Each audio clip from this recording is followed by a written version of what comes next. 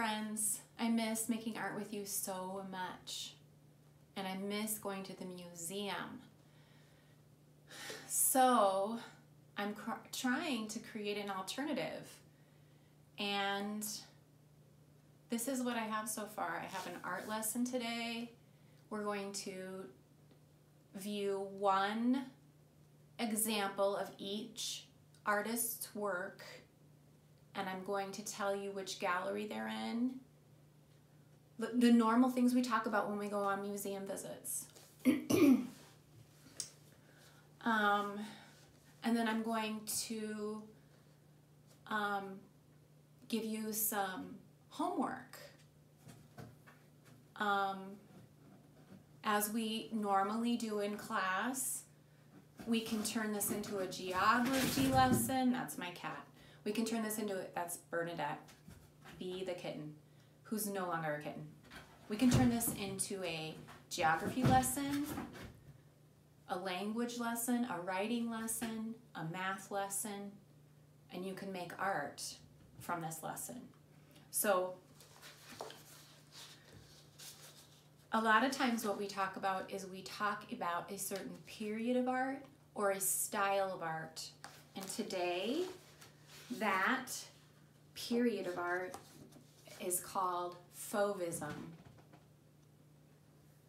Fauvism. And Fauvism came from the French words for, that's my cat, cat again, sorry, le fauves, which means the wild beasts. So a long time ago in the 1900s, this period was on, it was a short period. You know one of the artists who started this period.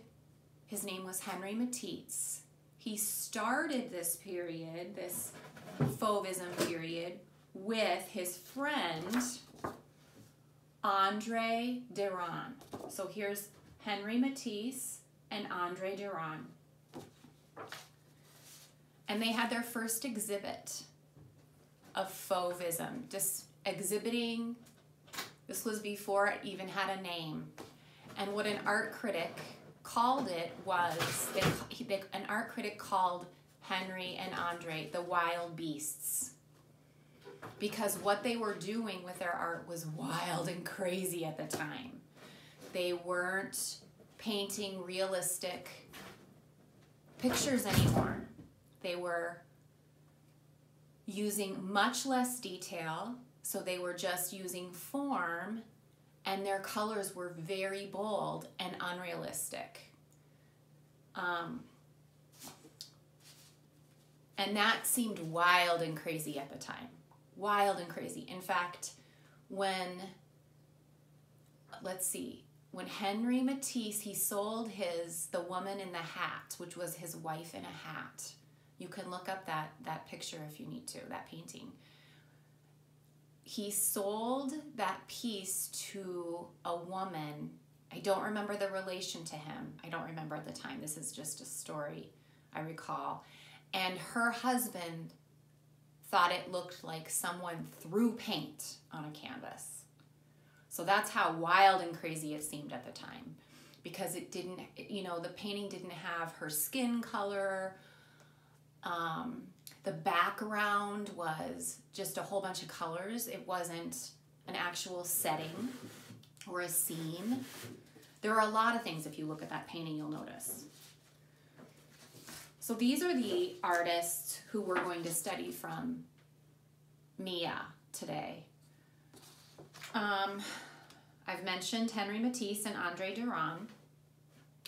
So I have Raoul Dufy. Now, his work that we're going to view is not on view. I'm not sure that we've seen it.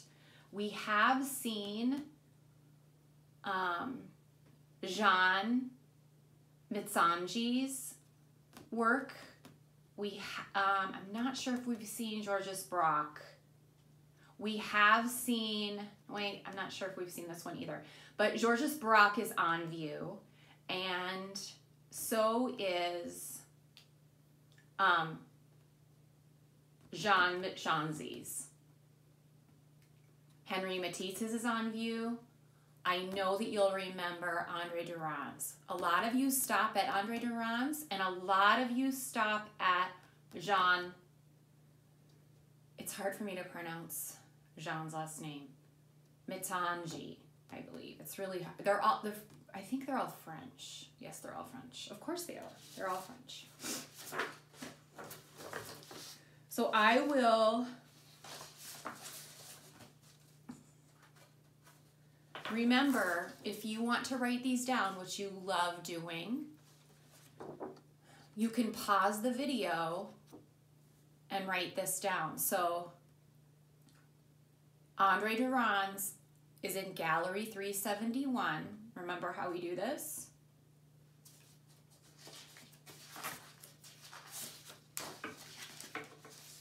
And the title is London, St. Paul's Cathedral, seen from Thames. And Thames is a river in England.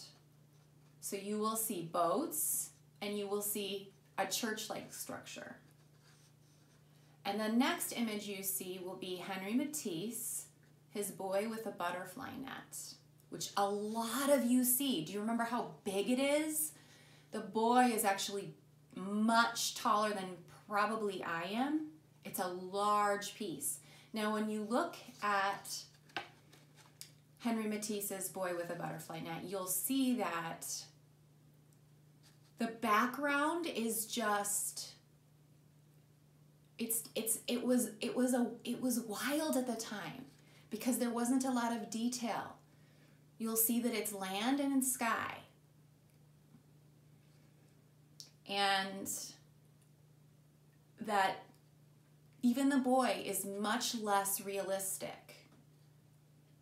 Um, so much less like a photo you would see of a boy, and more so of what um, a lot of fauvism is what we imagine in our mind, we we or what we see in our mind, or how we'd like to see it, rather than what it really is. So how we'd like to see it rather than what it really is. Um, the next one is Raoul Dufy and um, again, this is one that isn't on view, and I don't think anyone has seen, but I wanted to include it. Um, I so this is Epsom. The title of the work is Epsom. It's a town in England, and this is the one of the sketches of the horses and the people, which look like maybe the town square or something. And you'll see that a lot of the lines aren't finished and a lot of the color doesn't fill in the entire form or shape. And that's what makes it fauvism. A lot of the colors aren't realistic. Okay, the next one.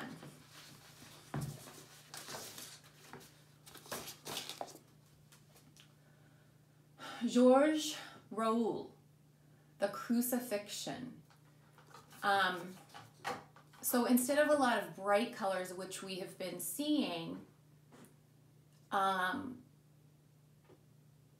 here this artist uses really like almost paint that's squirted out of the tube directly onto the canvas and then uses a palette knife to move it around or a paintbrush to move it around. Really thick paint